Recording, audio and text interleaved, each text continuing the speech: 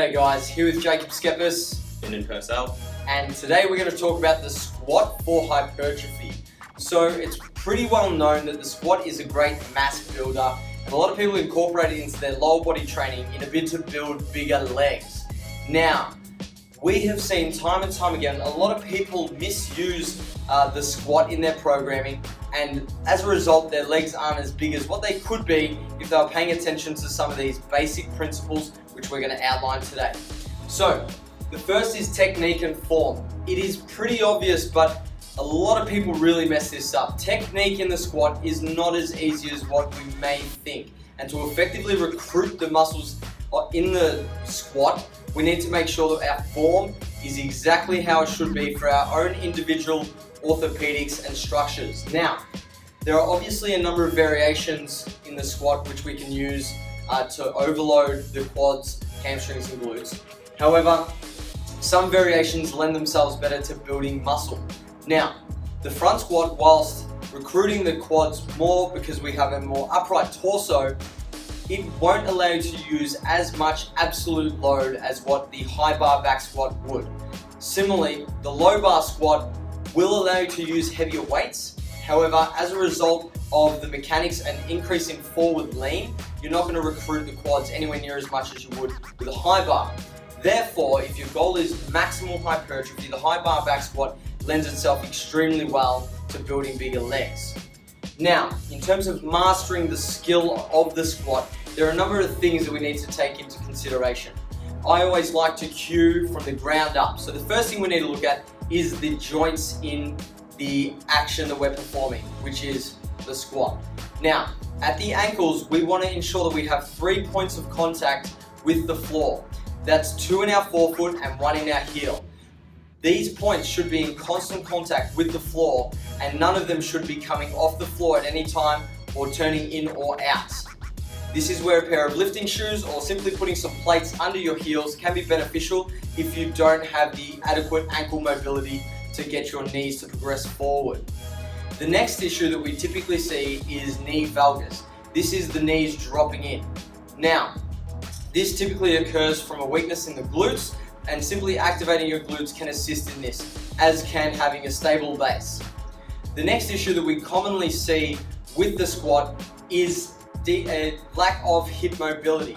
Now, this can be caused by a number of issues that uh, it's outside the scope of this video. However, the most common cause of this is not having a neutral spine.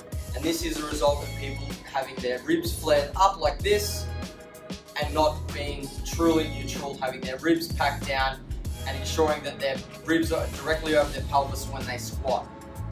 Range of motion is an extremely arbitrary term, so it's not the be all and end all if you can't squat ass to grass. However, to ensure you maximize your leg development, you should be squatting to as full a range of motion as possible within your orthopedic profile.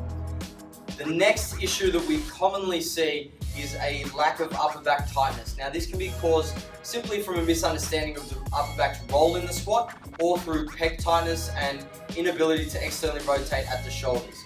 You want to be pulling your shoulders back, down and extending your thoracic throughout the squat to ensure that you are neutral. So as you can see, the squat is not as simple as it seems. It's a movement that requires some level of mastery before we can progress in terms of intensity and volume.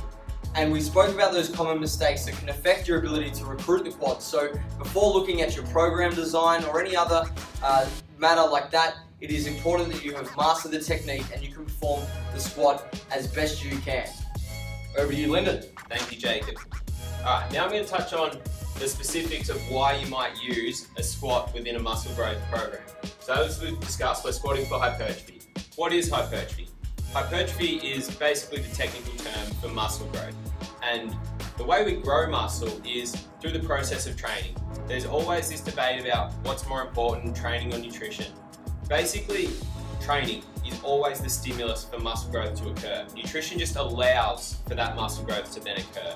So we need to stimulate an upregulation of muscle protein synthesis and downregulation of muscle protein breakdown with training, and then feed that with protein, amino acids, and achieve a positive net protein balance over days and months like in years. That's how you get big.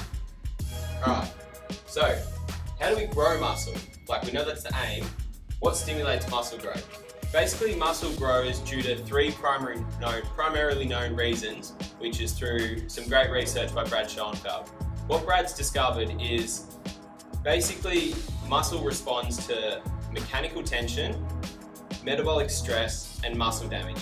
These three factors are what stimulate muscle growth. So, those three factors are most easily, or sort of the biggest overall contributor to all those factors is volume. So take mechanical, mechanical tension, for example. If you look at mechanical tension in isolation, adding weight to the bar will always increase mechanical tension, all other variables being equal. But in order to get the biggest overall effect on all three of the mechanisms, we want to focus on volume. Volume is the amount of work done, basically. So providing technique is solid and range of motion is consistent, it just becomes sets times reps times weight. So, as Jacob's about to touch on, increasing volume is the biggest and most important factor we can look to do when, when aiming to grow our legs or squatting for hypertrophy. However, simply adding weight to the bar and trying to look as strong as you can in the gym and impress the girls who walk past, that's not always the best thing to be aiming for. Thanks, Lyndon. And this is another thing that we see a lot of people really butcher with their programming and the squat in particular is they focus on load and adding weight to the bar. Now we need to understand that intensity, is load on the bar, directly correlates to strength adaptations. Whereas like Lyndon mentioned, volume correlates more specifically to hypertrophy. So if you're looking to get big, whilst we can add weight and that's going to have a small contribution to increasing the overall volume within our program, there are other ways we can add volume which are going to lend themselves far better to building a bigger set of legs. And those are by increasing the number of sets that you perform within a given workout or the number of reps. Now, this can be either case depending on where you're at with your squat and where your programming is situated. However, there needs to be some progressive overload to force your body to adapt. So simply adding one rep each week to your you know top set on the squat and then keeping your you know sets pretty constant in your back off sets and adding one to two sets over the course of four to six weeks is a great place to start. And when we want to test to see whether or not we are making some improvements, testing our one rep max isn't going to be beneficial for determining whether or not we're building bigger legs because this is going to lend itself far better to neural adaptations like I mentioned. So testing your 8 rep max, your 10 rep max, or an AMRAP, which is as many reps as possible to see whether or not you're improving. Because if your 10 rep max has gone up, chances are that you've got bigger legs because the neural contribution to that is very insignificant and muscle is going to be the primary determinant of whether or not you can actually do more reps. So guys, that is how you should incorporate the squat for hypertrophy. Focus on technique, ensure that you're targeting all three mechanisms within your program and you focus on progressively overloading volume. If you have any questions, feel free to hit us up below and we'll speak to you guys shortly. So guys, that's how you utilize the squat to build muscle in your lower body. It's important to remember that the squat is just a tool in our toolbox that we can use to achieve a stimulus on our quads, hamstrings and glutes. And that there are many other exercises that we can use if you are somebody who is really struggling to reap the reward and the benefits of the squat. So guys, if you like this video, found it informative, make sure you click like, subscribe to the channel, and we'll speak to you guys next time.